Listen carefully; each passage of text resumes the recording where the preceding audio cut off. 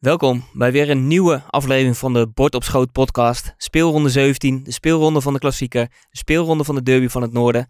En de speelronde waarin we weer op zoek gaan naar een grote speler. We gaan de hete code weer uitdelen en we gaan kijken hoe de coach van het jaar eh, ervoor staat in dit weekend. Dat ga ik vanavond doen met niemand minder dan Nicky van der Gijp. Nicky, welkom. Ja, leuk man. Ik moest wel even lachen dat je zei 17. Dat, dat bracht wel gelijk mijn...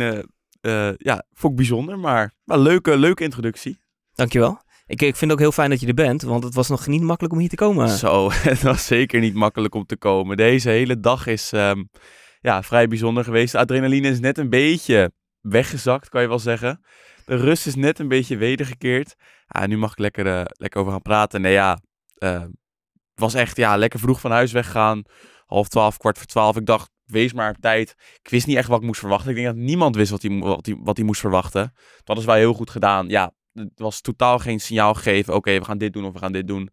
En ik kwam daar aan en ik, ik dacht dat ik in de Gazastrook was beland uh, of iets dergelijks. Echt ME uit Nederland, Duitsland, België, politie, mensen met maskers op. Uh, ja, echt, ik, ik wist echt niet. Het was echt bizar. Echt overal hekken. En ik heb veel meegemaakt bij Feyenoord. Marseille thuis, Lazio thuis. Uh, nog, nooit, nog nooit zoals vandaag. Nog nooit echt zo erg als, als vandaag. En uh, ik kon, ik kon mijn auto ook niet parkeren waar ik normaal parkeer. Ik moest een half uur lopen van waar ik had hem ergens midden in de stad geparkeerd. Op zich geen ramp, ik ben er wel gekomen. Ik heb nog jonge benen. En ik, ik moest voor het Maasgebouw. Nou ja, normaal. Ik weet niet of je als bij Fijn bent geweest bij het Maasgebouw. Daar kan je best wel makkelijk normaal naar binnen komen. Mm. Nou, er stonden onder de, onder de hele parkeerplaats stonden overal hekken. En je moest echt één voor één allemaal naar binnen. En nou, het was echt, uh, ja, het was echt bizar. Het, gaf wel aan hoe de belangen waren uh, bij deze wedstrijd. Ja, absoluut. Echt niet normaal. Moet, moet ik ook eerlijk zeggen, als tv-kijker was het ook een beetje een gekke ervaring. Je krijgt uh, vooraf ook wel wat filmpjes mee met wat er allemaal gebeurt buiten het stadion. Maar zeker op het moment dat die wedstrijd begint, dan zit je gewoon te kijken van, hm, ik uh, zit gewoon nog een deel tegen dat, dat hek aan te kijken. Wat, en en het, bij het eerste shot dacht ik echt van, het lijkt net alsof ze in een soort kooi, kooi gaan voetballen. Ja, dat idee kreeg je er een maar beetje dit bij. had veel beter gewerkt als die, als die netten er niet waren. Maar je zou toch denken, dat, dat wisten ze best wel al een tijdje van tevoren. Ja, het was echt, uh, het zag er super gek uit. Want ik zag beelden natuurlijk wel op mijn telefoon de rust verschijnen. Uh, maar zeker met die metalen palen zag het er echt, echt vreselijk uit. Dus ik weet niet of dit helemaal een goede wedstrijd was om dit, uh, dit camera-standpunt uit te testen. Nee, nou ja, ze moesten wel, omdat ze eigenlijk anders volgens mij geen, geen fatsoenlijk shot van, de, van het veld konden uh, neerzetten. En wat dat betreft denk ik ook een bijzondere wedstrijd voor uh, zowel de kijker als voor, uh, als voor ESPN. Even terug naar jouw beleving van deze wedstrijd. Ehm, je verwachtingen vooraf en in hoeverre ja, je nu teleurgesteld bent of tevreden bent over Feyenoord. Nou, laat ik beginnen met dat ik zeg maar blij ben vooraf dat er dat nu achteraf dat er niks geks is gebeurd. Mhm. Mm. Um, ik was best wel bang voor dat er echt iets zou gebeuren wat de imago en niet alleen het imago, maar ook de situatie van Feyenoord echt uh, echt kut zou maken. Zeg maar of je nou stel er zou iets met Berghuis gebeuren dat er iets van punt, uh, punt aftrek, wedstrijd zonder publiek, daar had niemand beter van geworden. En ik ben gewoon blij dat dat, dat niet is gebeurd. Hij is uitgefloten. Af en toe, even één of twee keer is er een liedje gezongen. Dat zei hij zelf ook. Dat is prima. Um, ja, ik heb heel de week wel een soort van tussen hoop en vrees gezeten tijdens over die wedstrijd. Ik durf natuurlijk, ja, ik heb nog nooit echt in mijn leven meegemaakt dat Feyenoord favoriet was. Nee. En nu dacht ik echt, ja, ik moet misschien toch wel mezelf gaan, ja, die rol gaan aannemen. En tot gisteren eigenlijk dacht ik van, nee, dat ga ik niet doen. En, en toen gisteren dacht ik van, nee, we gaan er gewoon overheen. We gaan er echt overheen klappen. En ja, dat gevoel heb ik eigenlijk tot de 60 minuut nog steeds gehad. Ja. En daarna eigenlijk ook nog wel een beetje. Ja, ik heb nooit het gevoel gehad dat, dat Feyenoord deze wedstrijd niet ging winnen. Maar ja, dat gebeurde niet. Nee. Nou ja, moet, moet eerlijk zeggen, inderdaad. Uh, de eerste 60 minuten was, was Slot ook heel uh, positief over. Uh, maar als ik kijk naar mijn gevoel vooraf, had ik eerlijk gezegd het idee dat Feyenoord nog meer eroverheen zou gaan. En ze hebben wel heel goed druk gezet, maar qua kansen viel het net even een beetje tegen, denk ik. Ja, het, het is zo'n wedstrijd waar je echt heel goed kan zeggen dat statistieken niet vertelden hoe de wedstrijd in elkaar stak. Want mm. um, ja, er ging ook al Ajax Sports naar mij op Twitter sturen met expected goals en, en statistieken van schoten. Het is ook zelf te denken, ja, maar er waren oprecht misschien wel 20, 30 momenten van, mo zeker in de opbouw van Ajax, dat denk ik iedereen die Ajax supporter was echt thuis zat van, dat ging echt net goed, zeg maar, of net niet goed aangenomen, net niet goed meegekregen. Of, ja, en ja, normaal in zo'n wedstrijd krijg je wel, zeker Feyenoord, want Feyenoord is een van de ploegen die de meest Mm. scoorde dat soort momenten, wel twee of drie momentjes dat je die bal wel meekrijgt. En die waren er niet echt. Ehm, dus grote kansen bleven inderdaad eh, best wel uit. Nou, die van Jiménez dan, dat was wel echt een grote kans. Ehm, maar ik denk qua spelbeeld vond ik Feyenoord wel echt dominant en scherper, beter. Ehm, en ik, ja, ik denk, ja, misschien zit ik nog steeds een beetje in die... Misschien moet ik het een keer terugkijken op tv. Maar van wat ik heb meegemaakt, was Feyenoord wel de enige die de overwinning verdiende. Het was een beetje wachten zeg maar, op het moment dat er een, eh, dat er een 2-0 zou vallen. Dat dan de wedstrijd echt helemaal uit handen zou glippen bij Ajax. Maar omdat Feyenoord daar niet tot, tot kwam, hebben ze eigenlijk Ajax denk ik in leven gehouden. Terwijl de manier van, van druk zetten bijvoorbeeld, en ook hoe dat weer vandaag tot uiting kwam, kunnen het over Danilo hebben. Ja, Die- die- nou, jij, hebt- jij hebt ik veel moet, ik moet, Danilo, ik moet bijna mijn excuus- excuses gaan maken. Ja. Want ik, ik, ja, eerst even zijn spel aan de bal vond ik eigenlijk ook goed. Ja, Eh, hij was echt heel goed. Ja, ik hij vond- won ook, zeg maar, hij won niet per se veel duels, maar heel, hij kreeg heel veel moeilijke ballen die moeilijk aan te nemen zijn of moeilijk iets mee te doen. En deed hij echt heel veel goede dingen mee. Maar ik, ik, ja, ik zei ook tegen mensen naast me van, wij hebben Linse heel veel bewierookt om hoeveel hij liep en wat hij Mm. allemaal deed. Maar wat Danilo vandaag liet zien, dat was boven dat niveau nog. ja. Die heeft achter elke bal aangesprint, achter elk, overal druk op gezet. En hetzelfde geldt voor Szymanski eigenlijk, die precies hetzelfde meedeed. Ja, die hebben echt een gigantisch loopwerk. eh. En ik denk, elke verdediger ter wereld had vandaag tegen Danilo echt een hele irritante dag gehad. Dat weet ik wel zeker. Ja, sowieso. Ik denk dat het voor geen enkele opbouwer makkelijk is als je continu onder druk werd gezet. Dan hoef je, hoef je niet eens dat die elke keer de bal onderschept, maar wel dat je elke keer gedwongen wordt om een andere keuze te maken. Dat je elke keer niet aan je opbouw toe kan komen waar je eigenlijk, eh, ja, op, op- wat je eigenlijk wil. Nee, dat dat gewoon heel lastig was voor Ajax. En ja, eh, we komen zo ook even uitgebreid op Ajax natuurlijk. Ook aan de hand van eh, onze eigen Lars Jesse van de Pantelis eh, podcast, die jij zijn mening erover geeft. Eh, maar even nog even terugkomend op Feyenoord. Eh, je hebt Danilo als een van de uitblinkers eh, genoemd.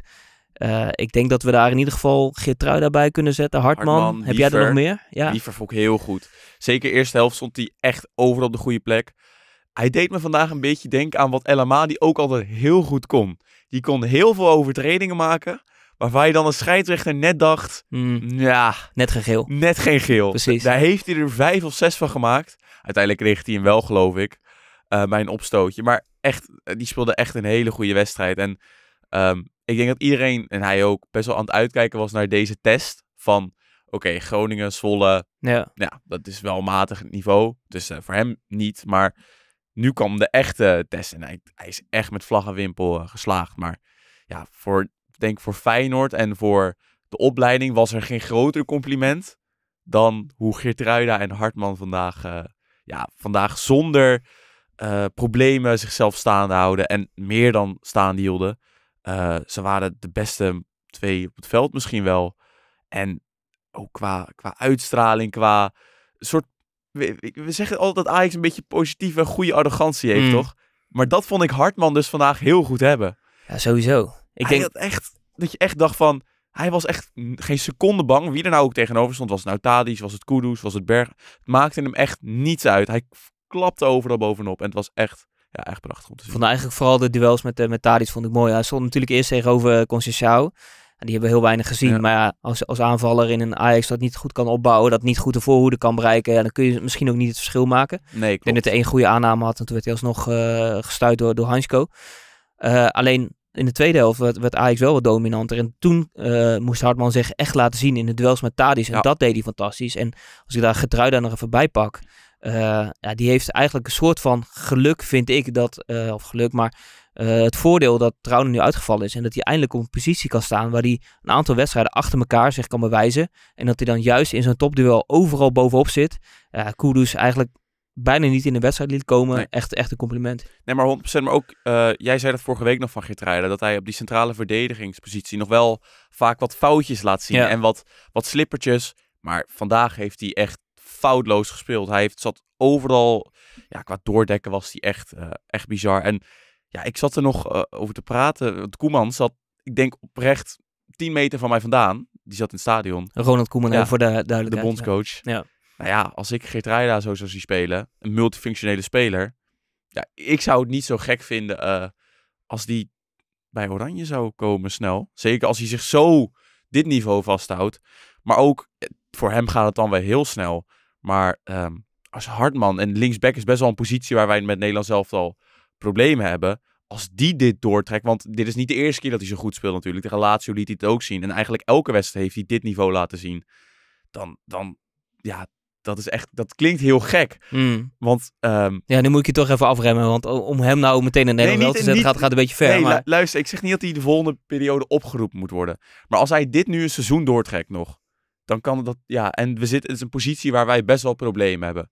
Dan is het wel iemand waarvan je kan zeggen, die kan binnen nu en twee jaar wel doorgroeien naar dat niveau. Zou heel tof zijn als hij dat waar kan maken. Ja, zeker omdat hij was nooit een groot talent. Dat is echt een jongensboekverhaal. Nooit een groot talent. Vorig jaar kruisband gescheurd. Twee Maar- concurrenten ook bij Feyenoord nu. Ja, precies. En hij, hij zat alleen maar bij de selecties opvulling, in de voorbereiding. En nu heeft hij inderdaad ja, twee concurrenten. Buurkan, nou die is weg dan. Die heeft hij gewoon weggespeeld. Letterlijk en figuurlijk.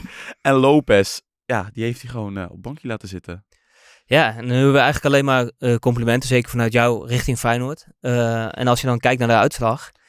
En eigenlijk ook het moment van die 1-1. Toch een beetje het gevoel dat, dat, dat ze het op dat moment nog uit handen hadden kunnen geven. Ja, ik had dat gevoel heel erg. Slot zei het zelf ook volgens mij. Die, had die periode van minuut 5 tot 60 dat je echt dacht, ja, hij moet, nu moeten ze die 2-0 gaan maken. Toen was echt gatenkaas achterin bij Ajax. En toen viel het allemaal een beetje stil. Ik zag Jaan Baks. Die was echt kapot. Ik vond dat Slot te laat wisselde. Uh, Wiever zag je echt op zijn tenen lopen. Ehm, en dat was de periode dat, ja, waar die goal, die goal kwam er eigenlijk ook uit. Want Jaan Baks laat zijn man lopen bij die goal. Wiever is niet helemaal meer goed in positie. Ehm, ja, en daar viel die goal. Ja, ja, ik wil niet zeggen dat het een typ- typisch is voor de klassiekers die Feyenoord de laatste jaren heeft gespeeld. Maar daar past deze eigen goal wel in het rijtje. Ehm, we hebben Senesi de afgelopen twee jaar eigen goals zien maken. Ehm, ja, en deze van Wiever viel ook eh, redelijk in het rijtje. Ja, Daarna- op, wel op een hele lullige manier, maar ook wel in een fase waarin eh, Ajax net een paar kansen kreeg. En ook eigenlijk over die kant van, van Pedersen. Je hebt Ja. daarvoor al het moment waarop eh Alvarez even voor één minuut in bekkenbouw verandert. De rest van de wedstrijd niet. Maar die steekt even het hele veld over. Die zet uh, Koeders voor de keeper. Nou, pakt Bijlo die bal nog goed en Hartman uh, ruimt op. Alleen is ook omdat Pedersen daar uh, buitenspel opheft. En het moment daarna, eigenlijk is die Bergwijn gewoon volledig kwijt. nee, maar sowieso. eh, we hebben heel veel, ik heb nu heel veel complimenten over Feyenoord. Maar het was zeker niet allemaal zo fantastisch. Want zoals jij zegt, Pedersen. Dat was van de hele wedstrijd misschien wel de grootste dissonant. Zeg maar. Die was echt ehm, heel matig. En dat kwam niet omdat ehm, Ajax hem nou echt aan de bal liet. Zeg maar, Ajax zorgde niet ervoor dat hij al de bal kreeg. Feyenoord zocht zelf die problemen op. Ja. Ehm, en dat vind ik best wel gek, want hij speelt nu twee jaar bij Feyenoord. Dan moet je als team gewoon toch wel weten dat je als je één iemand, zeker in dit soort wedstrijden, niet aan de bal moet laten, ehm, dat is hij het wel. En ik denk dat hij in anderhalf jaar Feyenoord wel natuurlijk ontwikkeld is. En dan toch denkt van, ja, ik ga het proble- proberen voetballend op te lossen. Het kan hij beter niet doen. Nee, nee, hij maakt eigenlijk altijd uh, de verkeerde keuze. En dat uh, hielp Feyenoord vandaag niet mee. Nog even één laatste puntje voordat we naar uh, Lars Jesse gaan. Uh, 2-1. Had kunnen vallen via Jiménez. Ja. Die, bal, die bal die komt er tussendoor. Ik reken, rekende jij al rijk? Ik stond er met mijn armen gespreid. Ja, Oprecht, ik had hem al geteld. En je zou denken voor een spits, een type Jiménez. Nou, jij, jij bent helemaal gek van het type Jiménez. Hij doet alles goed tot, tot het moment Ja, van maar je zou denken dat het moeilijkste heeft hij gehad ja. voor hem. Ja. Hij, hij moet eerst, die loopactie was heel goed. Uh, de paas was trouwens ook heel goed. Ik weet niet meer wie die paas gaf. Timber misschien wel, of Dilrosun. Dilrosun was het. Ja, ja echt klopt. een goede bal. Hij maakte een fantastische actie naar zijn goede been. Dan denk je, ja, Kasi, dit is, dit is hangen. En ja, het was, echt, ja, het was echt heel matig ingeschoten. Ik zat er echt precies, echt zeg maar, recht voor. Hij was echt, echt heel slecht ingeschoten. Ja, hij raakt me gewoon echt, echt niet lekker. Het is ook niet, niet per se een uh, kans die je 100 op 100 moet maken, zeg maar. Als je, als je het vanuit het perspectief, zeg maar, uh, vanuit een hoger perspectief zeg, zag, dacht ik, ja... Uh, daar leek het, het, het, is ook, het is ook geen intikketje, zeg maar. Nee, daar leek het minder erg. Maar als de potentie die jij Jiménez toebedeelt, mm. als hij dat wil laten zien, dan moet hij deze ballen wel gaan afmaken. Het is een zware week voor mij, man. Dan is nou die fantastisch speelt tegen Jiménez ja, die de... Zo gaat hij niet de basis inkomen. Nee, die de 2-1 niet maakt. Uh, nou ja, wat, wat dat betreft inderdaad het uh, Feyenoord perspectief. Uh, ja, Lars Jesse heeft de wedstrijd uh, volgens mij met vrienden gekeken. Even kijken of hij nog een uh, goede visie heeft op, uh, op deze wedstrijd. Laten we even naar hem uh, gaan luisteren. Ja mannen, de klassieker. Het moment om het om te keren voor Alfred Schreuder als hij met een goed plan was gekomen. Hij kwam met een plan, of eigenlijk helemaal niet. De backs uh, leken nergens naar een middenveld met Taylor, Klaassen en Berghuis leek bij Vlagen op los zand. En ook voorin konden ze geen bal vasthouden. De eerste helft was vanuit Ajax perspectief schrikbarend. De tweede helft ietsjes beter. Ik vond Bergwijn goed invallen. Kudus heeft een hele snelle dribbel, maar had die bal wel mogen maken. En uiteindelijk moet je denk ik als Ajax blij zijn met een 1-1. Feyenoord teleurstellend, had er meer uit kunnen halen. Ehm, ja, ik denk voor Ajax is de koek wel op. Ik ben over. Schreuder mag wat mij betreft zijn biezen pakken. Ik vind dat het tijd is om te handelen voor Edwin van der Sar en consorten. Ik denk niet dat ze het gaan doen, maar ik denk dat dit wel de juiste timing is om uh, afscheid te nemen van de trainer. En ik ben dan ook benieuwd, vinden jullie dat ook? Ja, Nicky, Schreuder kan zijn biezen pakken. Nee joh, tien jaar laten zitten nog. dat dacht ik al, ja. Nou, ik vind wel dat dat makkelijk van Lars zit hoor. Zo laat op de trein springen. Dat had iedereen kunnen doen. Nee, um, ik vind hem hier nog redelijk rustig, Lars. Want ik zat in de, in de rust, stond 1-0. Mhm. En uh, in de daily van vrijdag was, uh, was Lars al even een beetje aan het jennen naar Bruce. En uh, hoe die schouderklopjes gegeven. En lekker dat op maandag weer. Toen dacht ik van, ja, nu staat 1-0 in de rust. Laat ik Lars even app. En toen was hij toch even wat minder, wat minder enthousiast. En zeker ook over Scheuder en het voetbal wat Ajax speelde. Ja. Um, want ja. ondanks Schreuder was best wel positief was dit voetbal echt Ajax onwaardig. Zeker de eerste helft. Dus ja. ik snap, snap, sowieso dat hij uh, na één helft dit gevoel had. Moet, moet wel eerlijk zeggen, uh, als je kijkt naar de opstelling, zag ik heel veel kritiek op uh, de beslissing bijvoorbeeld om Alvarez achterin te zetten en om het middenveld zo in te vullen. Alleen als ik kijk naar Bessie en Wijndal, als die hadden vandaag hadden gespeeld, was het misschien, was het denk ik eigenlijk nog wel slechter maar gegaan. Maar hoe ga je er zo van uit? Wat is er dat... Want ik vind Bessie, met alle respect, ik vind dat hij totaal nul kwaliteiten bezit om linksback te spelen. Dat vind ik hetzelfde als deze bij PSV, die heeft dat ook niet. En ik vind Wijndal, dat is ja, gewoon een, ja, even serieus Wijndal. Dat hebben we drie jaar lang, heeft iedereen daarvan gezegd dat de beste linksback van de Eredivisie is. Dat hij maar is hij dit moet. jaar niet, man. Hij is echt, nee, echt, maar hij komt er ook niet in als je, als je hem nooit laat spelen. Nee, nou ja, goed, hij heeft, hij heeft de, de keren dat hij heeft mogen spelen, is hij gewoon tegengevallen. En uh, ja, sowieso, het is er niet voor niks dat hij ernaast staat. Hij heeft gewoon echt te weinig laten zien bij Ajax tot nu toe. En hij heeft blijkbaar ook te weinig laten zien in de ogen van Schreuder, waardoor hij de kansen ook niet krijgt. En als je kijkt naar Bessie, ja, aan de linkerkant heel ongelukkig aan de bal. Ik had uh, de eerste helft eigenlijk ook al van, uh, Tadis moet zo gewisseld worden met een stijve nek, omdat elke bal over hem heen wordt geschoten. Aan de andere kant, hij heeft wel elke keer die snelheid gebracht aan de linkerkant. En ook af en toe dat hij wel doorkwam en dat hij wel met een, een lage voorzet kwam, wat, wat oké was. Uh, en dat hij Pedersen kon beteugelen. Dus ik vond dat op zich nog wel oké okay werken. Alleen aan de bal uh, ja, was, het, was het inderdaad niet veel. Ja, maar daarom, maar dat kan dus prima als je op rechtsback een back hebt die ook echt, ook, die dan wel op kan bouwen. Net als ja. um, Feyenoord heeft natuurlijk ook met Pedersen één back die niet, niets kan met de bal. Maar Hartman is echt wel even goede trap, kan goed opbouwen. Maar nu heb je, als je Bessie op links hebt en Ja. Sanchez op rechts, dan heb je er dus niet één die kan opbouwen. En Alvarez was ook redelijk eh, aan, aan het goochelen achterin. En Timber zit natuurlijk ook niet in de beste fase van zijn carrière. Dus ik denk, ja, ik snap niet echt het idee wat Schreuder had. Ik kan me niet voorstellen dat hij wilde voet opbouwen met dit elftal. We hebben het natuurlijk gezegd, in die voorbeschouwing is al gezegd, gaat hij opbouwen? Misschien moet hij wel als Ajax-trainer. Maar ik kan me niet voorstellen dat hij, daar, dat hij daarvoor heeft gekozen überhaupt. Nou ja, ik- volgens mij ging het al heel snel eh, fout, zeg maar, inderdaad bij die, bij, bij die twee centralen om een oplossing eh, te vinden. Ja, vond wel dat ze nog net de rust hadden tussen de keeper, eh, Timber en Alvarez, om niet elke keer zeg maar zo onder druk te staan dat, ze, dat, ze echt, dat het meteen tot kansen tegen leidden. Eh, ja, tot dat moment met, met Hartman natuurlijk. Maar ja, die bal kwam van Berghuis. Ja. Ook even het bruggetje maken. De backs waren gewoon slecht. Dat benoemde Lars ook al. Centrale verdedigers moeite om de oplossing te vinden. Maar het middenveld, vond je dat ook zo tegenvallend? nou ja, het, ik denk dat je het best wel kan verwachten. Het is als je dan een centraal duo hebt wat niet zo lekker loopt, is het wel fijn als je een, een verdedigende middenvelder hebt die echt daar hoort. Net als bij United had het heel moeilijk. Casemiro kwam en dan zie je gelijk, dat brengt rust, weet je. Zo'n gozer Mm. die die positie kent, daar zich helemaal op zijn plek voelt en zo'n team neer kan zetten. En ondanks dat Berghuis en Taylor beide echt hele goede voetballers zijn, zijn het niet jongens die op die plek het team neer kunnen zetten. En eh, de restverdediging kunnen bewaken. En zorgen dat de opbouw helemaal verzorgd is. Tuurlijk kunnen zij opbouwen. Tuurlijk zijn ze goed aan de bal. Maar niet in deze positie. En het was gewoon te veel van het goede. En of, nou ja, te veel van het goede. Het is misschien niet helemaal het goede woord. Maar dat, ja, het werkte gewoon niet. Nee, ja, ik moet eerlijk zeggen dat ik de voorrust vond ik eh Klaassen en Telen nog wel oké, zeg maar, in de duels. En eh, vooral Ka Klaassen haalt altijd wel een zesje. Ja. ik vond Berghuis enorm eh, tegenvallen. Ja, misschien ook wel met, met de druk die er op hem ligt. En als je, als je na het interview achteraf met hem luistert, wat echt een schitterend interview is. eh, en dan snap je ergens ook wel dat het voor hem echt een hele moeilijke dag is eh, geweest. Ik denk dat het de opbouw naartoe moeilijker was dan de wedstrijd zelf voor hem. Ik denk dat het hem best wel is meegevallen, uh, de, de ontvangst. En als hij zelf zei, ja, fluiten, spreekhoren, het hoort er ook een beetje bij. Je kan ook niet, kan je wat anders verwachten? Je wilt misschien anders verwachten, maar je kan niet anders verwachten. Um, en ja, ik vond het best wel mild eigenlijk allemaal. Ik had het idee dat niemand er echt heel erg mee bezig was ook.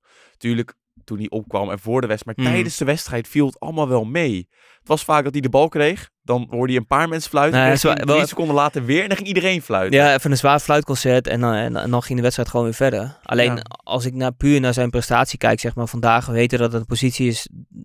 Normaal gesproken heeft hij Alvarez achter zich staan of in ieder geval naast zich staan. Nu heeft hij, staat hij naast Taylor, dus het is al wat moeilijker.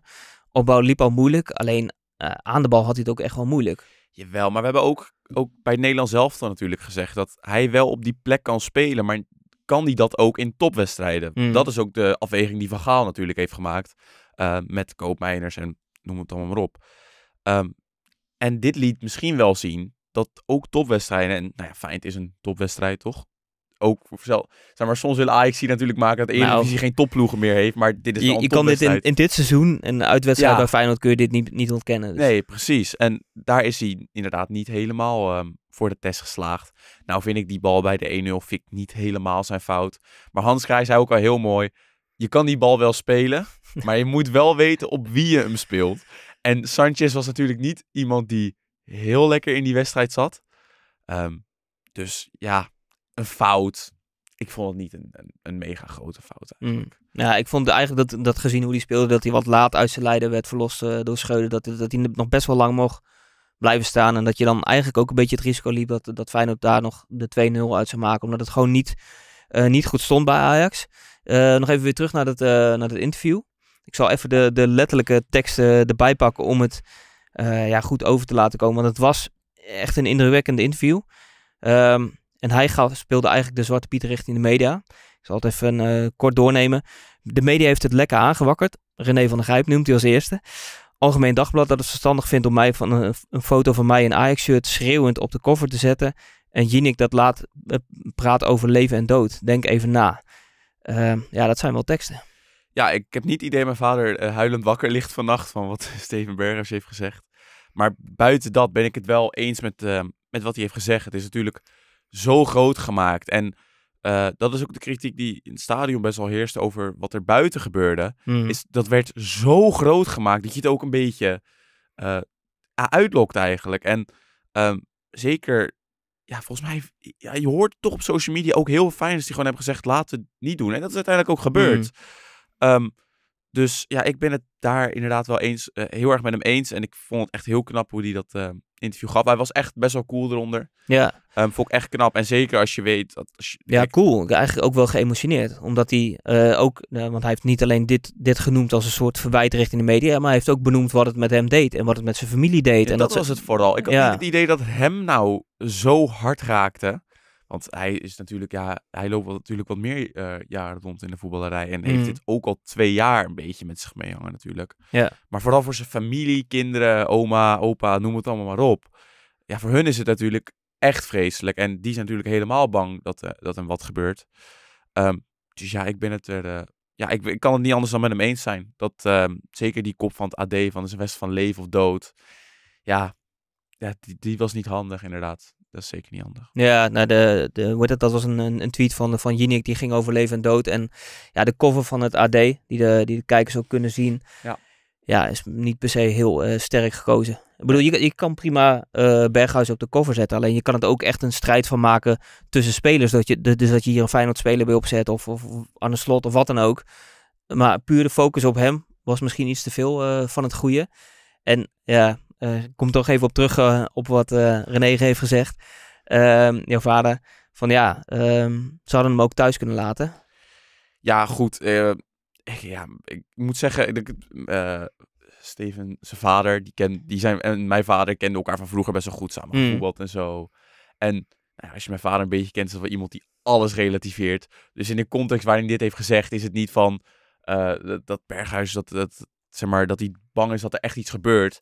Maar mijn vader houdt gewoon niet van gezeik. Dus Mm. die denkt ja, hoe makkelijk is het om er vanaf te komen door hem gewoon thuis te laten? Dan ben je overal vanaf. Dus ik, ja, Moeten daar niet te, te zwaar aan tillen. eigenlijk. Nee, dat denk ik helemaal niet. En ja, goed. Ik denk dat, dat morgen dit iedereen het ook weer een beetje vergeten, toch? Dat, laten we dat eh, hopen. Of nou ja, laten we vooral onthouden, zeg maar, dat, dat Berghuis dit een keer op een prachtige manier heeft uitgesproken. Ja. En dat hij een keer duidelijk heeft gemaakt van wat het ook doet. Met, met, het is natuurlijk wel vaker benoemd, maar niet zo kort na een wedstrijd. En zo specifiek eh, door hem uitgelegd wat het eigenlijk doet met spelers en met een eh, familie. Nee, maar ik ben ook benieuwd hoe het vanaf volgend jaar dan eh, gaat. Want kijk, je kan er wel verwachten dat hij gaat nooit meer van zijn carrière gaat hij een aardig ontvangst krijgen in de Kuip. Nee. Hij gaat altijd uitgefloten worden. Hij gaat waarschijnlijk altijd spreekwoorden onze oren krijgen.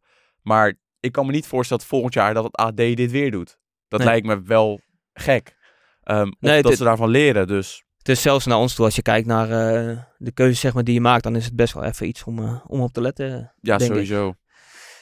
Nog even weg bij, eh, bij Berghuis en de, de aandacht op Bergwijn. Bergwijn. Ma- de man die het verschil maakte. Nou, hij viel wel goed in, moet ik zeggen. Inderdaad, hij viel goed in. Maar ik weet niet of hij nou het verschil maakte of Ajax gelijk speelde ehm, of niet. Maar het was in ieder geval wel beter dan Conceição. En dat kan je die jongen ook helemaal niet verwijten. Hmm. Met zijn ervaring en zijn leeftijd.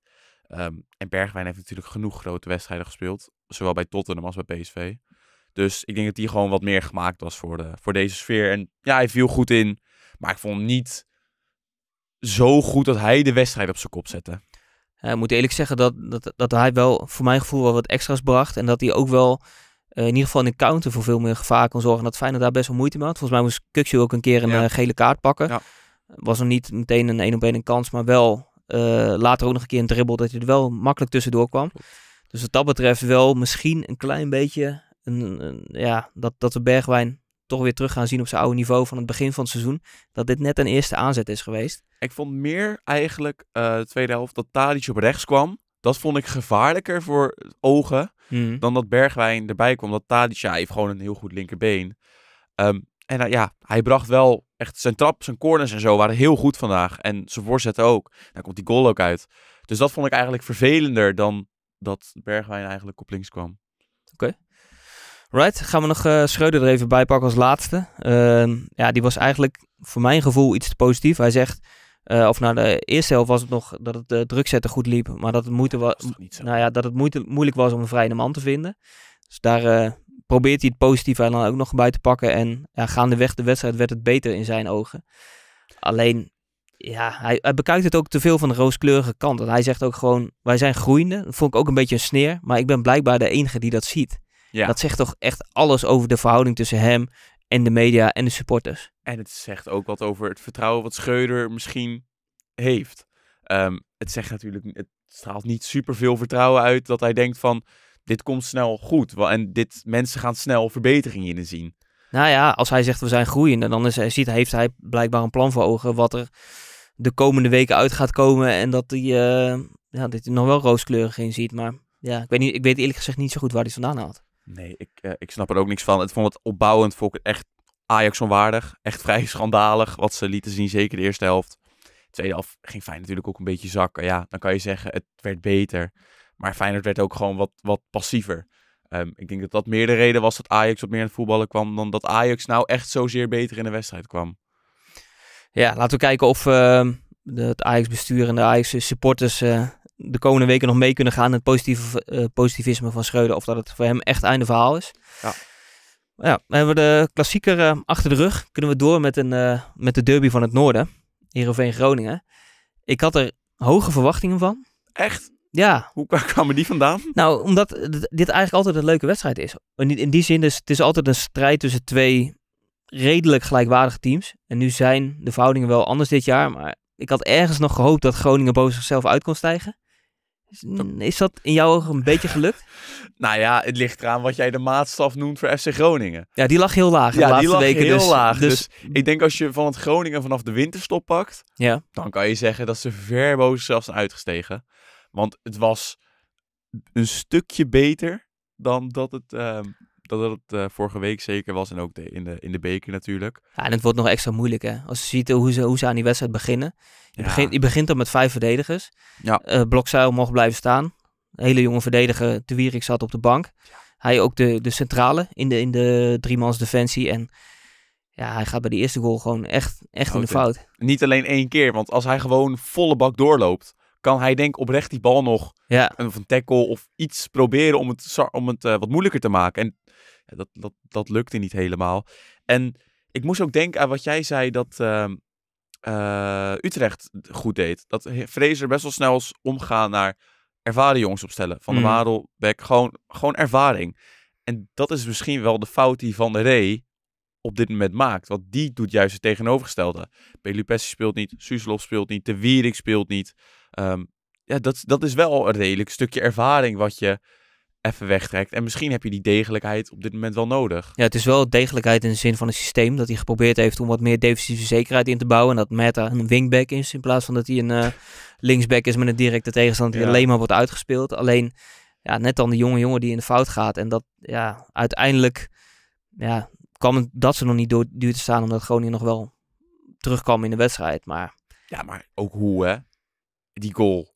ja, echt bizar. Ja, dit, Die, corner, hè, die corner was fantastisch van Ja, Meta. hè? twee keer hè? Twee keer achter elkaar. En ja, ik zat, ik zat er naar te kijken. Ik dacht, dit gebeurt bij mij eh, eh, gisteren op zaterdag ook, deze goal.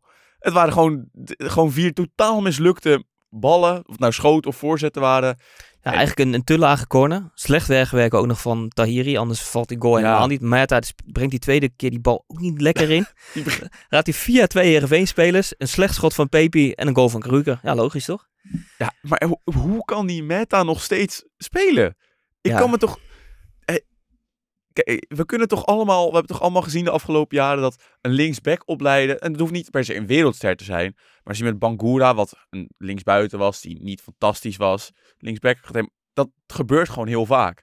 Dan kan ik me toch niet voorstellen dat er nergens in een BVO... In een jong team een linksbuiten loopt die dit ook zou kunnen. Ja, het is heel bijzonder dat ze dat, ze dat vertrouwen in hem blijven houden.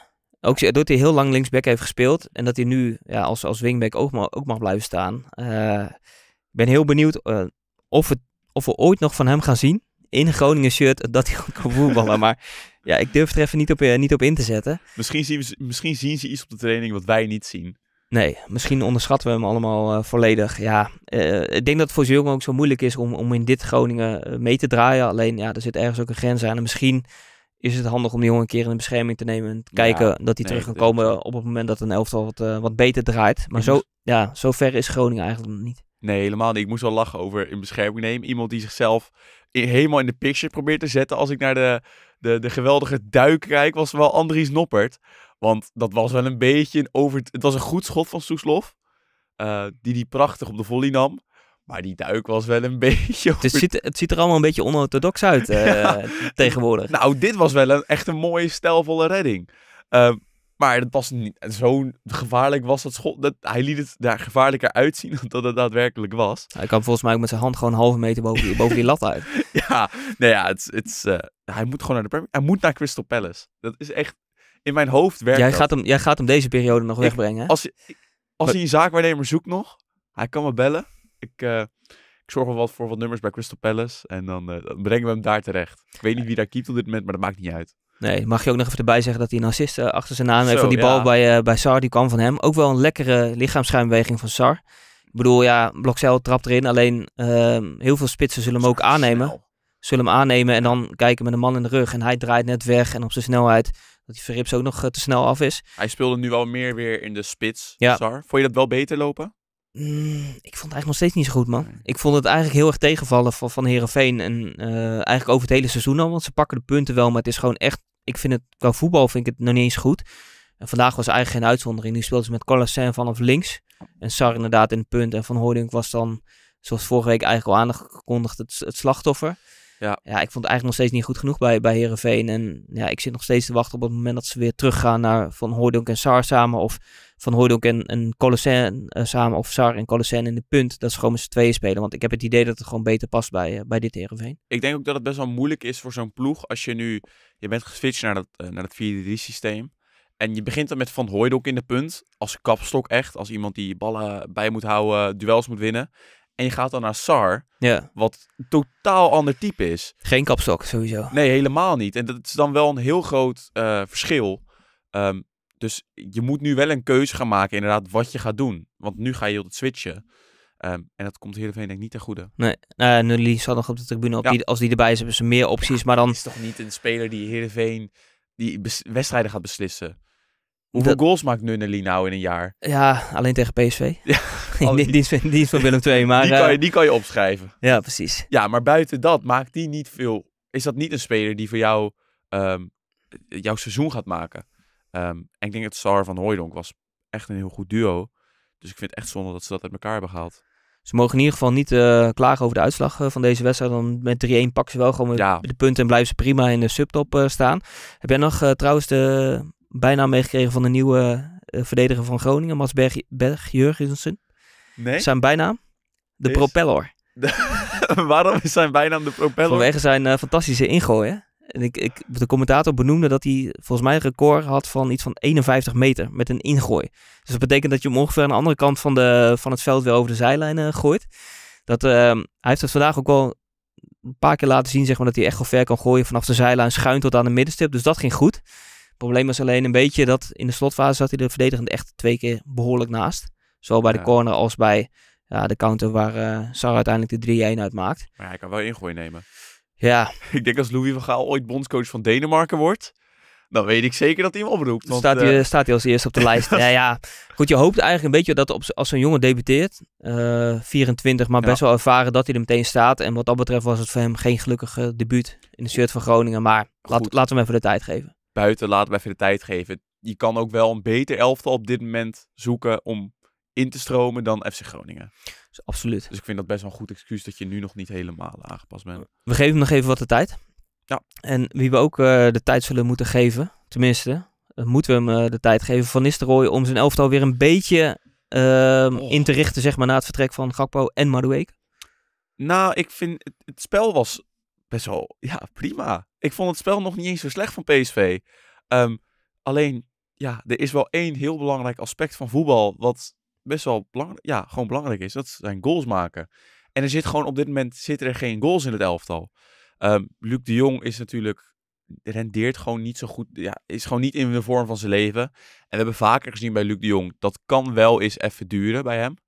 Ehm, die penalty was ook echt matig ingeschoten. Ja. Ik vond het wel raar dat hij niet werd, eh, opnieuw werd genomen trouwens. Ja, Scherp, scherp, scherp, gewoon inderdaad voor de lijn. Ja. Ik heb ook inderdaad een foto voorbij zien komen van eh PSV-supporter die, dat eh, die dat twitterde. Ja, Maar goed, hij heeft, het zit hem allemaal een beetje tegen ook nu, man. Hij heeft die, die eerste die, kans, ehm, waarbij hij de buitenkant van de paal raakt. Denk je, ja, valt hij net... voor een spits ook niet heel goed, moet ik zeggen. Het, kijk, zo'n bui- bal buitenkant paal is ook niet... Ja, voor Luc de Jong, kom op. Weet je, verwacht je toch wel beter dat hij beter inschiet. Maar van wie ik echt geschrokken ben, en dat meen ik echt, is Ogazi. Ja, dat- ja, ik kan er, kan er moeilijk nog van schrikken, want ik heb een beetje in het idee dat hij niet... Ja, dat het, het is, dit is niet, ook weer niet zijn niveau. Eh, hij kan beter, maar, Tuurlijk kan hij beter. maar het is ook weer niet zo dat hij een heel hoog plafond heeft, toch? Nou, hij heeft toch best wel in de Premier League een seizoen gehad dat hij redelijk... eh, was het, ja, dat was bij Villa. Ja, nam hij de penalties en eh, hij kopt af en toe een bal binnen. Maar of, ja, of naar binnen komen en schieten, dat heeft hij wel. Alleen dat, komt er, dat komt er nu nog niet uit. Nee, nee, helemaal niet. En ook die kans na, na vijf minuten al eh, was, wel, was wel buitenspel. Tussen, net aan, net niet volgens mij. Maar echt, kom op El Ghazi, die bal moet hij gewoon maken. En ehm, ja, dat is eigenlijk heel typerend voor PSV op dit moment. Ze creëren best wel wat kansen. Allemaal via Simons. Alle, die speelden wel echt, echt gigantisch goed weer. Die, Zeg, hij steekt eigenlijk met, met, qua niveau steekt hij er met kop en schouders bovenuit.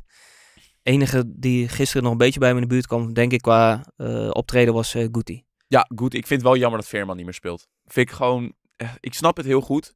Want Guti is wel, voegt heel veel toe aan het spel van PSV. Ehm, en zeker in, ja, gewoon überhaupt een beetje, überhaupt, qua controle is hij goed, maar wint veel duels, is vrij constant. Ehm, ja, is gewoon een hele een voetbal waar je echt op kan bouwen. En Veerman is natuurlijk net wat eh laconieker, soms wat, Ja. wat minder constant, maar ook wel, is gewoon een voetballer waar ik heel erg van kan genieten. Ehm, maar ja, Xavi Simons was echt, ehm, ja, hij is echt, ik ben benieuwd hoe lang hij nog bij, eh, bij PSV kan voetballen. Dat best wel gek is voor iemand die pas een half jaar bij PSV voetbalt. Ja, ik, ik vrees ook dat we hem Niet nou, sowieso na, een- na een seizoen niet meer, eh, niet meer weer gaan zien. En dat zou echt super jammer zijn voor PSV. Want in mijn ogen draagt hij op dit moment gewoon dat elftal.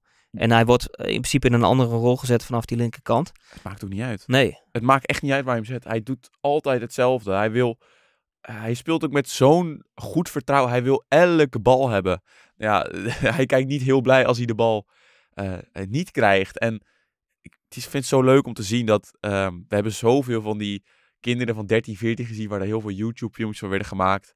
Waar we drie jaar later eh, niks meer van hoorden. Nou ja, het, beste eh, voorbeeld is denk ik Hachim Mastour. Ja, Daar was heel de wereld gek van. Die speelt nu in de tweede divisie van Marokko. Ehm, en bij Simons was het natuurlijk een beetje hetzelfde. En eh, bij PSG had hij af en toe niet hele gelukkige invalbeurten. Dus dacht iedereen van ja, het zal wel weer een hype zijn die nergens op slaat. En hij komt bij PSV en hij laat het echt ja, gelijk zien. En wat ik het allerknapste vind, is dat ondanks zijn kleine postuur, hij zo st- ontzettend sterk is. En zelfs in bijvoorbeeld de wedstrijd Arsenal kon hij gewoon, het middenveld kon hij echt eh, dominant zijn. En eh, ja, het is echt prachtig om te zien. ja, maakt inderdaad ook niet heel veel uit waar hij speelt. Want normaal gesproken speelt hij op 10. Nu begon hij aan rechts, op rechts. En na het uitvallen van de Jong moest hij naar links toe. Maar hij kan eigenlijk vanuit elke positie in het veld een kans creëren. En ook de, de, de bal waar die penalty uitkomt. Ja, ook lekker balletje, hè? man. Oh, zo lekker. We hebben sowieso dit weekend veel mooie balletjes gezien. Ehm, maar dit was er wel echt één van hoor. Ja, hij is, ja, je moet echt een hele goede voetballer zijn om, eh, om dat te kunnen zien. En ja, het, ja ik, dit is denk ik een van de momenten van voetbal waar ik het meest van kan genieten. Dat soort balletjes. Er was natuurlijk één iemand, Messi was natuurlijk de allerbeste er ooit in. Nou ja, daar kan ik uren naar kijken. Ehm, ja, als je dat bezit dan, eh, en dat constant elke week kan laten zien, dan kan je echt heel ver komen. Ja, dat denk ik ook. En eh, ik hoop dat we hem in ieder geval, nou, dat hij niet in, in, in januari al wordt, wordt weggehaald. Maar Vond je dat, het een penalty trouwens? Ja, sowieso. Dat is echt een wilde sliding van Dijksman. Ja, ik vind het altijd een beetje lullig wanneer een kans al weg is en er wordt nog een penalty Ik ook. gegeven. Dus normaal gesproken ben ik altijd team eh, geen penalty. Maar dit was, ja, dit was echt zo dom dat Hij je... was zelf wel verrast, had ik het idee. Überhaupt heel, iedereen was volgens mij wel redelijk verrast. Ja, omdat die kans wordt gemist. En dat je 9 van de 10 keer is inderdaad die uitleg die Ja. hij ook geeft. Dat, dat, die dan, dat het dan niet heel logisch is om ja. nog een penalty te, ge- te geven. Maar hier kon je eigenlijk eh, niet onderuit. Vond het En, wel eh, lang duren. Ja, het duurde ook heel Het lang. duurde echt twee Er minuten zat een buitencel, eventueel ook nog een buitenspelsituatie in. Dus volgens mij was het 4 minuten 19 of zo. Dat is wat, inderdaad wat aan de lange kant. Maar goed, ehm, ja, voor de rest, ik moet eerlijk zeggen dat ik de rest van de wedstrijd ook best wel een hele zit vond. Ook omdat, ehm, ja, het, inderdaad moest veel van Simons eh, komen. Eh, Vitesse had het verdedigend in mijn ogen oké staan. Het is toch een beetje het kenmerk van Cocu dat hij zowel bij Ajax uit als bij AZ uit als nu bij PSV uit zich in ieder geval niet laat wegspelen. Nee, helemaal niet. Ook slim, denk ik, om Dijks in ieder geval op te stellen en dan Vitek wat hoger op het veld te zetten. Ja. Waardoor je dat, dat probleem in ieder geval niet meer hebt. Ja, 100%. En ik vond ook het laatste half uur, laatste 20 minuten, dus na de, na de goal dan van Theo, vond ik echt dat Vitesse best wel, eh, echt best wel goed speelde. En eh, met, eh met Baden Frederiksen en met Bero echt nog wel echt stevige kansen heeft gehad. Ja, ja, die van Bero trouwens, want dat is best wel opvallend. Dat eh, geef ik goed, die de complimenten. Die heeft heel veel ballen veroverd. Normaal gesproken is die Maar daar stond hij echt te pitten. best wel betrouwbaar. En nu keek hij, dat is een beetje hoe ik vroeger voetbalde. Van, nou ja, het zal wel goed komen. En hij zal de bal niet krijgen. Hij, stond kreeg, niet hij kreeg hem wel. Hij stond echt 10 meter van hem vandaan. Hij bleef gewoon staan. En Bero liep, liep door, ja. Ja, en een beetje het was niet eens zo slecht ingekopt. Goed gepakt van, van Benitez. Ja. Ik moet zeggen dat de keeper aan de andere kant. Ja, ik, heb dat, ik vind dat toch jammer, man. Ik, ik, ik, als je de eerste helft naar hem kijkt, dan denk je, hij is, hij is, dominant, Goed. hij is dominant in de Ja. lucht. Hij heeft heel veel bereik. En juist een bal die hij dan eigenlijk moet hebben, verkijkt hij zich dan op. En dan na afloop staat hij voor de camera en dan zegt hij ook, ja, eigenlijk had Til wat harder moeten schieten. En als ik Vitesse supporter zou zijn, ik zou worden. helemaal gek worden. Ja, ik moet altijd met hem een beetje eh, denken wat ik Mario Been ooit hoorde zeggen over Courtois. Die was trainer bij Genk toen, eh, toen Courtois daar Mhm. doorbrak. En die zei, die kon, Courtois kon in de jeugd helemaal niet keepen. Alleen, hij was zo groot Hmm. dat iedereen zei, als we maar een beetje leren keepen, dan komt wel goed. En dat idee heb je bij Scherpen ook een beetje. Als, het, als hij nou echt gewoon degelijk zou gaan keepen, dat heeft Noppert ook. Hmm. Als je zo groot bent en je wordt maar een degelijke keeper, dan, dan, dan kan je echt de top halen. Maar hij Ja. maakt zoveel fouten. En ook die rode kaart was echt... Ik heb echt het idee dat zijn leercurve niet heel stijl is, zeg maar. Dat, niet. dat hij sinds dat hij bij Ajax is gekomen, en ik vond hem bij Emmen ook best wel talentvol. Hij pakt ook ballen waar bijna geen enkele Nee. andere keeper bij kon. Alleen, eh, voor mijn gevoel maakt hij inderdaad nog steeds dezelfde fouten, dezelfde inschattingsfouten ook. En nu was hij in principe op tijd eruit. En maar dan, houdt twijfelde die. dan houdt hij ineens in. En dat is niet voor het eerste dit seizoen. En daar, ja, daar zit hij nog steeds gewoon af en toe naast. En dat, ja, dat kost eh, Vitesse gewoon punten. Ja, ik vond... Ja, überhaupt. We za ja, volgens mij was het bij, ehm, bij Groningen ook, waar de keeper uitkwam, twijfelde Hmm. en te laat kwam. En dat was hier ook. Want ik denk als hij gewoon doorloopt, is hij oprecht gewoon een seconde eerder, denk ik, dan Vitesse. Ehm, en, en nog dan wijzen naar de scheidsrechter van er is niks aan de hand. Ja. Ja. of vorige week werd er geen eh, rood voor gegeven. Dat soort, dat soort excuses, ja, dat is gewoon niet heel slim. als je op die manier eh, de wedstrijd hebt eh, weggegeven. Ja. Ehm, ja, de marge was inderdaad klein. Benitez eh, een paar goede reddingen. Dus wat dat betreft eh, ehm, ja, komt PSV verdient er overwinning. Maar het had anders kunnen aflopen, denk ik. En eigenlijk is het denk ik in deze fase ook het, belangrijkste voor PSV om die wedstrijden gewoon te winnen. En Martin Haven was voor ons in het stadion. Die geeft ook even zijn eh, visie op de wedstrijd. Dag vrienden, het is bijna zondagochtend hier, of in ieder geval nacht in eh, Eindhoven. Net de persconferentie geweest van Ruud van Nistelrooy. En ja goed, ik heb persoonlijk een vrij saaie wedstrijd gezien. Of in ieder geval een hele slechte wedstrijd tussen PSV en Vitesse. Waarin PSV blij mag zijn dat het gewonnen heeft. Maar een super interessante persconferentie van Van Nistelrooy. Die eigenlijk vertelde dat bijvoorbeeld Madueke eh, midden van de training werd geplukt. na een positiespel. Terwijl de wedstrijd werd voorbereid. Omdat hij zijn transfer naar Chelsea eh, had verdiend. Dat het definitief rond was. Dat hij daar zijn dankwoordje deed. En dat er daarna verder gespeeld werd. En dat het dus eigenlijk een super chaotische week voor PSV is geweest. En goed, als je dat allemaal meeneemt. Hè, je bent toch twee van je beste spelers verloren. Dan is het misschien wel een heel knap resultaat van PSV. En hebben ze helemaal geen goede wedstrijd gespeeld. Ehm, en heeft Scherpen zeker bijgedragen aan de overwinning. Maar is dit voor PSV wel een heel belangrijk punt? En ja goed, de, de uitspraak als je slechte wedstrijden wint, word je kampioen, gaat natuurlijk niet altijd op. Maar ik denk dat dit voor PSV moreel gezien een heel belangrijk punt is, of drie punten is. En zeker als er dan nog wat spelers bijkomen, dan belooft dat nog wat voor de toekomst. Ja, beloof wat eh, voor de toekomst. Eh, Ja. We hebben het net ook al even over, eh, over Simons gehad en over het vertrek van eh Madueke.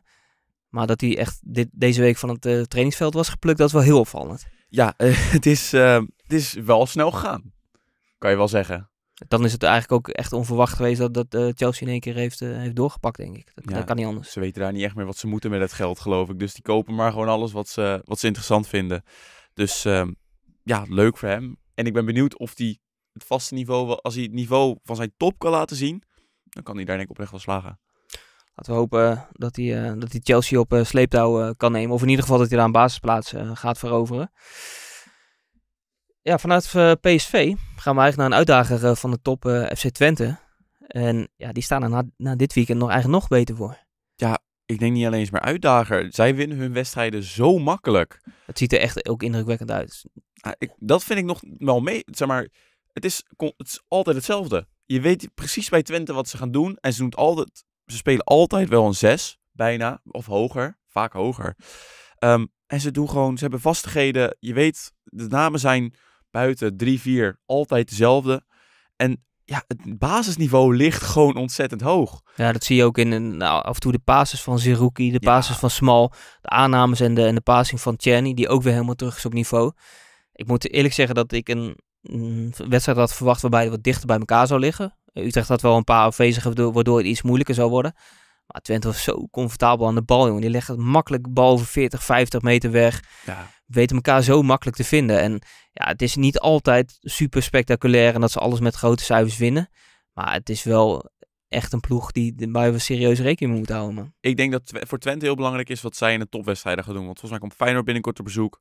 En ook nog PSV en AZ. Als zij die wedstrijden met echt wel wat punten doorkomen, dan kunnen zij denk ik echt wel, eh, wel meedoen in ieder geval een tijdje. Zeker als ze, als ze zo blijven spelen en als Seruki ook dit blijft vasthouden. Als hij niet wordt verkocht, eh, die, die 1-0 staat hij en aan de basis en geeft hij de paas richting Tjerni. Tjerni die super rustig blijft. Ja, ik heb best wel genoten van een aantal momenten vandaag bij, bij FC Twente. Ja, ik vind het ook gewoon vet dat Nels Tjerni, zeg jij, en Missy Jan, dat zijn twee spelers die echt, eh nou Missy Jan helemaal nooit een, echt was wel een aardige buitenspeler, maar nooit een hoogvlieger. Tjerni was wel een groot talent. Hele grote terugval gehad toen bij, bij Utrecht, was het toch, ja? Ja. Ehm, en die zijn echt helemaal opgeleefd weer. En die zijn, staan best wel symbool voor, voor het hele elftal van Twente. Flap is helemaal opgeleefd. Van Wolfswinkel hebben ze gehaald, is helemaal weer nou, helemaal weer gewoon de Wolfswinkel die we van zijn goede dagen in de Eredivisie kennen. Eh, achterin met Hilgers hebben ze natuurlijk, eh, ja, en Hilgers en Prupper, hebben ze en degelijkheid en talent.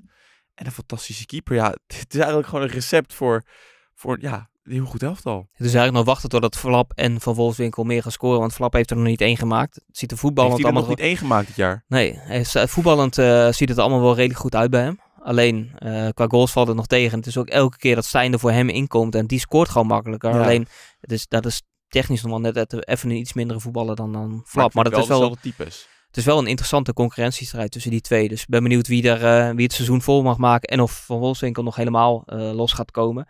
Even heel kort over, over Utrecht.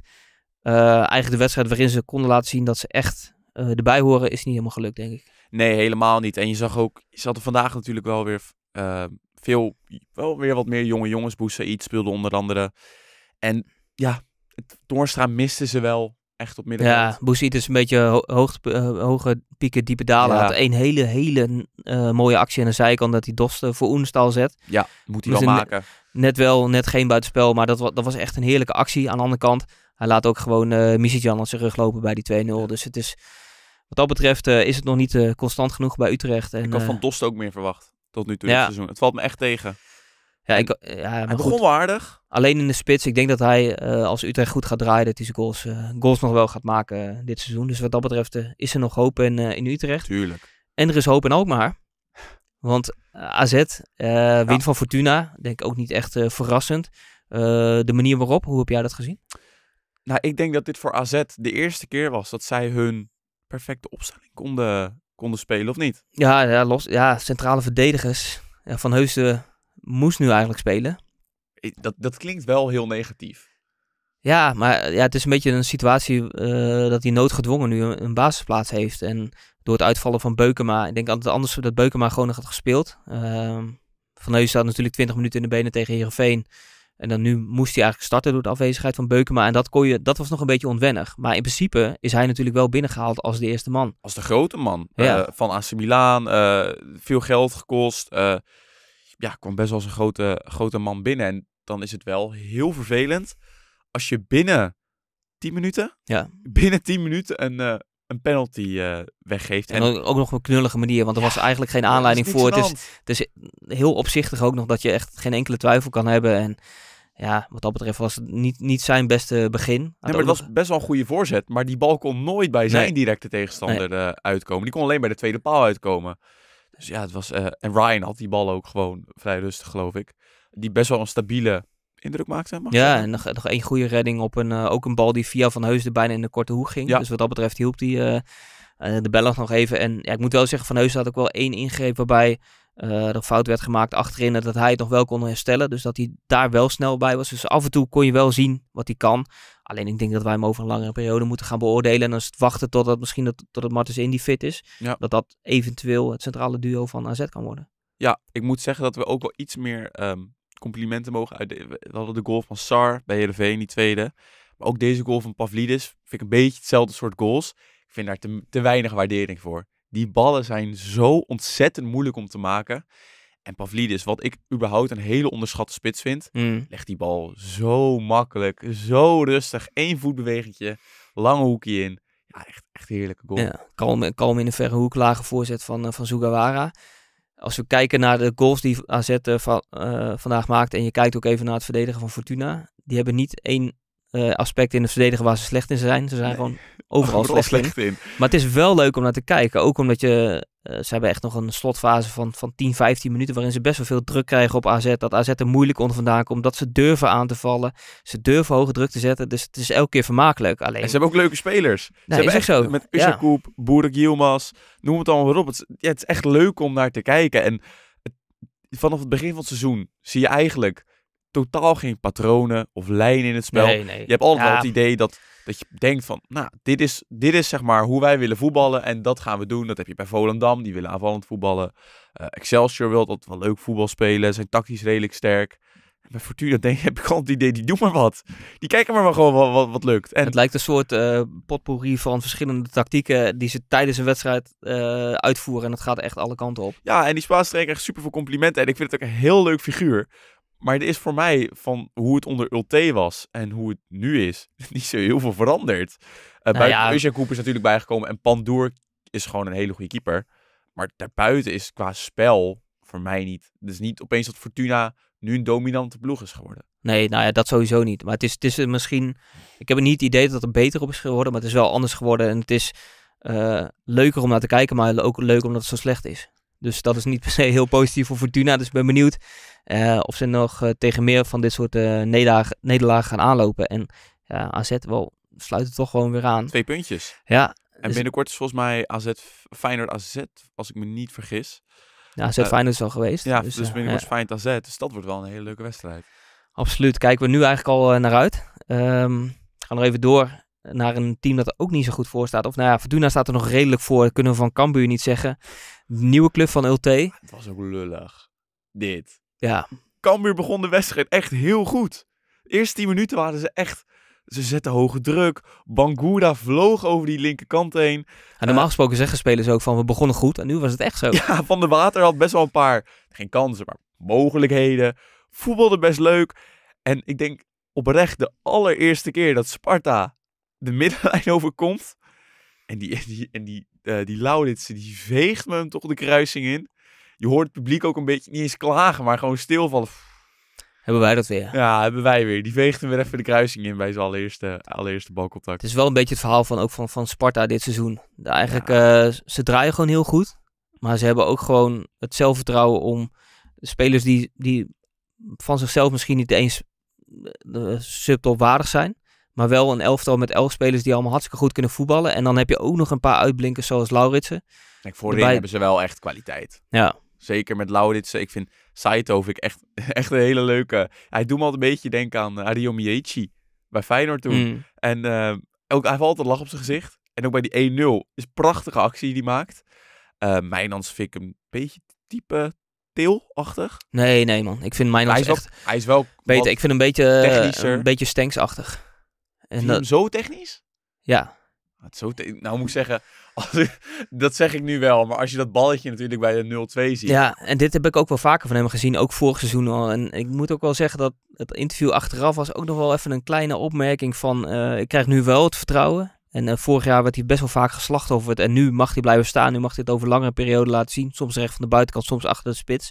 Maar nu krijg je echt pas te zien hoe goed eh, Sven Mijnans is. Dus ja, ik, ik voorspel hem op zich wel een beetje die, die stengsroute, weet je wel. Ik zou hem wel best wel bij AZ willen zien of zo'n club. Ja, is op dit moment lastig met Rotkaart daar, maar ehm, ja, wel een speler die dat niveau denk ik aan zou kunnen. En wat dat betreft ben ik heel blij dat ik hem nu elke week zie voetballen. Of misschien Twente. Of eh, een subtopclub in ieder geval. Misschien de voor top is nog wel wat te vroeg. Ik vind, ja, die stap is gewoon heel groot. Ik vind dat, dat moeilijk om te zeggen. Maar wat, Maurice Stijn, eh, hij gelooft zelf ook niet helemaal. Als je zijn interviews ook altijd hoort. Hij gelooft zelf ook niet helemaal wat hij blijft er, eh, ja, ik denk dat hij stiekem wel gelooft, maar dat hij het allemaal nog een beetje probeert te downplayen. Terwijl ze hebben volgens mij 31 punten. En vorig seizoen hadden ze 31 punten na 33 speelronden. Ja, het, ja, het is echt eh, bizar. En het is niet dat ze punten pakken en het niet verdienen. Ze voetballen echt prachtig. Die 0-2 was echt, nou, die was om in te lijsten. Het balletje van Mijnans. Eh, dan vooral op Saito was echt om, eh, om in Ja, te en lijsten. 0-3 eigenlijk ook. Daar gingen 28 eh pasen aan vooraf. Ja. Totdat die penalty, een beetje makkelijke penalty, maar dat maakt, ja. boeiend. Het was gewoon de aanval daar naartoe was echt schitterend van Sparta. Eigen strafgebied onder de druk uitvoetballen via Pinto. Ja, het was, eh, was Ik vind wel als je een penalty zo inschiet, moet je eigenlijk gewisseld worden. ja, eens. Het was echt heel. ik, ik vind dat je eigenlijk niet mag juichen ook als je hem zo inschiet. Want hij probeerde denk ik Panenka, denk ik. Ja, hij, deed wel, een- hij probeerde een chippy, maar dat, hij dat- probeerde een chippy. hij heeft best wel een goede trap. Maar dit, dit zou ik dan denk ik niet zo snel weer eh, proberen. Nee, en dan kon het, ik vond het überhaupt best wel slecht gekiept ook. Want Virginia mag hem best wel gewoon met zijn benen gewoon wegtikken. Ja, het zag er allemaal een beetje lullig uit. Ik wil ook niet te, te, te kritisch zijn op eh, Virginia. Die heeft het al moeilijk zat.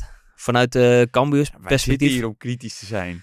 Ja, maar ik moet zeggen dat hij wel heel veel over zich, over zich heen heeft gekregen. Ik ben ook wel, wel kritisch op hem geweest. Maar als je ziet, ehm, hij, hij was ook een van de spelers die na afloop naar het, naar het supportersvak eh, toeliep om eh, die gasten toe te spreken. Terwijl die- dezelfde supporters hebben de tijdens de wedstrijd om Ruiter eh, zitten roepen. Dus dan moet je op zich wel karakter hebben om daar te gaan staan. En ik denk ook dat, ja, dat Cambuur mo- gewoon moet gaan helpen. En dat Ulte hem moet gaan helpen door hem meer in zijn krachten te brengen. Hoe ga je een keeper meer in zijn kracht brengen? Nou, door een, een betere verdedigend plan neer te zetten. Je hebt, je hebt een aantal jaren geleden heb je VVV gehad met Kiersbaum. Die kon er helemaal niks van. En toen eh, gooide Hans de Koning het om. Ging ze verdedigende spelen. Met Kiersbaum speler van de maand. Dat hij alleen maar schoten van 20, 25 meter op zijn goal kreeg. En ik denk dat deze jongen best wel kan keepen. Maar dat hij gewoon nu in heel veel situaties wordt geplaatst. Waarin hij nieuw is. Waarin hij te weinig ervaring heeft. En dat hij daardoor ook fouten maakt. En ja, ik denk dat, dat Cambuur hem gewoon moet gaan helpen. Ja, het is, ja het is een, ik ben wel helemaal met je eens trouwens. Het is, ehm, wat Ulte nu probeert met Cambuur is, is heel erg leuk en heel erg goed. Maar ik weet niet of het is inderdaad waar Cambuur op dit moment ehm, behoefte aan heeft. Misschien wat meer zekerheid inbouwen. Ja, ik, eh, het, het moet of een keer goed gaan vallen, of ze moeten gewoon op een andere manier eh, punten gaan eh, proberen te pakken. En iets meer zekerheid achterin. En sowieso Paulus in de basis zetten. Ja, 100 procent. Die was geweldig. Ja, tweede helft, ja. De, maar hier is nog even afwachten hoe fit hij is. Maar ik had de afgelopen week heb ik Paulus echt gemist. En het is echt gewoon een keuze van OT. Het was niet dat hij niet fit was of wat dan ook. Ja, ik wil hem gewoon volgende keer een aftrap zien. Dus echt gewoon de beste speler Ja, van Cambuur. ben ik het helemaal mee eens. Maar, en ik vind ook oprecht, ik denk een fitte Mahi is echt een geweldige spits eh, voor Cambuur. En als je een koppeltje hebt met Paulus en Mahi, kan ik me niet voorstellen dat de goals niet, eh, niet komen. Daar is het eh, hopen op voor, voor Cambuur. Excelsior staat er, staat er veel beter voor. Laten we snel de laatste twee wedstrijden er doorheen fietsen. We doen het altijd een beetje op attractiviteit en belang van de wedstrijd. Nou ja, Volendam was gewoon echt niet goed vrijdag. Excelsior was vooral Marwan Assekan. Echt, ik, ja, ik, ik twijfel nog steeds of hij ehm, goed genoeg is voor Feyenoord. Maar je krijgt toch, neigt toch steeds meer naar, misschien wel. Ehm, hij heeft gewoon zijn postuur soms niet helemaal meezitten. Maar hij is wel brutaal en hij gaat wel de duels in. En ehm, ja, het is echt een, eh, echt een rasvoetballer. Het is echt, eh, ja, misschien wel qua, als technisch gezien een van de betere spelers in de Eredivisie. Ja, dat ben ik wel met je eens. We hebben echt eh, ook vrijdag weer hele mooie dingen van hem gezien. En eigenlijk ook die samenwerking op die rechterkant met, met Horemans en met, Ja. met Goudman is fantastisch. En doet, als ik kan, even een overstapje bij die kans van Gassius. Geniet ik daar ook weer van. En ook hoe bepaalde spelers het gewoon invullen bij Excelsior. Jacobi doet wat hij moet doen. Eh Gassius is een prima aanspeelpunt. Niet echt afmaken, maar vult gewoon zijn taken goed uit. Dus wat dat betreft alleen maar complimenten voor Excelsior. En, Dijk, hij is ook gewoon een goede trainer. Ja. Daar ben ik echt, ja, echt gewoon een hele, voor Excelsior denk ik, eh, zaak om die man zo lang mogelijk eh, lekker aan je te houden. Natuurlijk zoals de laatste jaar ook met, bij Emmen met Dick Lukien gezien, dat al, al gaat het even slecht, en zeker met het budget van Excelsior zou dat helemaal niet gek zijn. Eh, als Goudmijn volgend jaar vertrekt, Oomijners, die nu nog geen grote, niet echt belangrijk is, maar ik geloof wel dat hij echt wel eh, best wel belangrijk kan worden bij Excelsior. En als er kan ook vertrekt, die gaan best wel een tikkie krijgen volgend jaar natuurlijk, als ze erin zouden blijven. Ik zou dan niet zo snel in paniek raken, want ja, je hebt gewoon echt een goede trainer. Ja, eigenlijk hebben ze dit jaar ook bewezen dat ze met eh, nieuwe spelers ook wat, eh, wat neer kunnen zetten. Jij noemt eh, Emma al even. Eh, zit, zitten daar de problemen dieper of minder diep dan bij Volendam? Oeh, zitten daar de problemen dieper of minder diep? Ehm, nou, ik, ik- ja, ik denk nog steeds dat Emmen wel spelers gaat kopen. Die hebben genoeg geld. ehm, dus ik denk wel dat de problemen daarop worden gelost. En ik vind überhaupt, als je kijkt naar het elftal van Emmen, wat ze allemaal rond hebben lopen met Romani, eh Diemer, Sivkovic, Araujo, uh, Bouchouari speelde best wel een aardige wedstrijd eigenlijk. Ehm, ja, ze hebben genoeg kwaliteit. Alleen, ik vond NEC echt heel erg goed spelen. NEC lijkt een beetje, ja, het is een beetje gek om te zeggen, maar eh, doet het misschien wel beter als Tanane niet bij is. Alle aandacht gaat normaal gesproken Tanane naar Tanane. Ze leveren allemaal de bal bij hem in. En, eh, het was eigenlijk iets meer een team waarbij eh, meer spelers tot hun recht kwamen. Nou, ik vond wel vooral dat één iemand de rol van Tanane natuurlijk eh, heel erg op zich nam. En hij is afstand. Zag, die was echt... Daar had ik het net over. Van, we hebben veel van die balletjes gezien eh, dit weekend. Dat is Mijnans eh en Xavi Simons. Ja, hij, Tafsan gaf er ook één op Sissoko. Bij de 2... Of 2... 0, ja, bij de 2-0 was dat toch? De, de eerste gaf hij op eh Dimata. Ja. En de tweede gaf hij op eh Sissoko. Ja, die. Sissoko was echt prachtig. Ehm, die Sissoko vind ik sowieso een hele leuke speler. Of ook wel bij die penalty. Dat was wel echt heel slecht verdedigd. Ehm, maar wel een leuke speler. eh, lekker veel flair, snelheid. Ehm, en voor Tafsan is dat... ja, die kon echt heerlijk die rol op zich nemen. En ik las ook dat hij... Dat, hij gaf twee assists dan tegen Emmen.